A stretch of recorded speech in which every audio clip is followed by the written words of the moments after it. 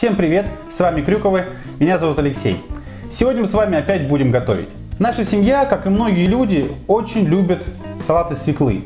В этом салате все очень вкусно, но в нем присутствует майонез. И, конечно же, это не самое лучшее, что есть в этом салате. Мы задумались над этой ситуацией и нашли из нее выход. И сейчас я хотел бы поделиться с вами рецептом здорового соуса, который мы используем в этом салате вместо майонеза. Для приготовления данного салата мы возьмем, естественно, свеклу, которую мы заранее отварили и натерли, чеснок, йогурт. Йогурт мы готовим сами, но вы можете его также приобрести в магазине. Главное, нужно покупать йогурт натуральный, без каких-то добавок. И лимон, а также соевый соус.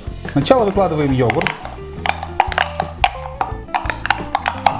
Затем мы отрезаем лимон. Мы делаем дольку чуть пошире, чем обычно кладем в чай. И выдавливаем его в йогурт. Добавляем 1-2 столовых ложки соевого соуса. И перемешиваем. Тщательно размешали. И вот наш соус, заправка к этому салату готов.